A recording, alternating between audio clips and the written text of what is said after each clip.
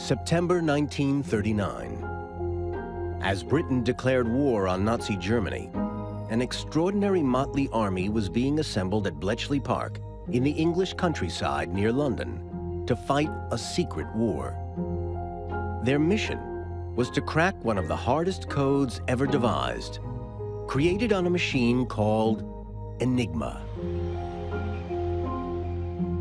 Enigma lay at the heart of Hitler's armed forces communications system. Two of this elite were the renowned mathematician Alan Turing and the dean of a Cambridge college, Gordon Welchman. Gordon Welchman was actually quite glamorous. He was good looking and he knew he was good looking. He had a way with the ladies. He was fantastically bright, uh, very pugnacious, obviously a very proud man. Welchman was one of the original elite codebreakers, given the Herculean task of decoding the Enigma machine.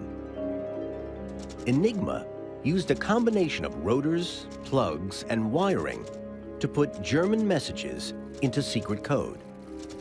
There were one in 159 million million million possible combinations.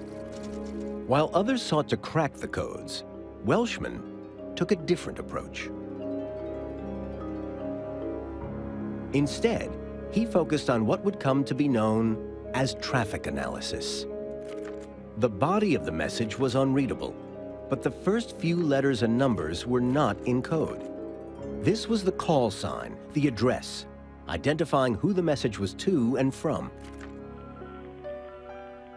There was crucial information in the call signs, and Welchman started to track it, linking up who was sending and receiving the messages, where they were, where they went.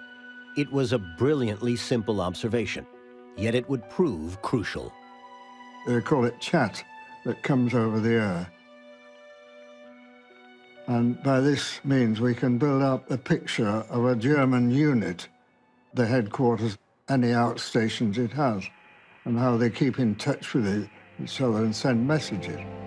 Just using traffic analysis, Welchman started to reveal the precise enemy forces that faced the Allies. Modern code breaking was born.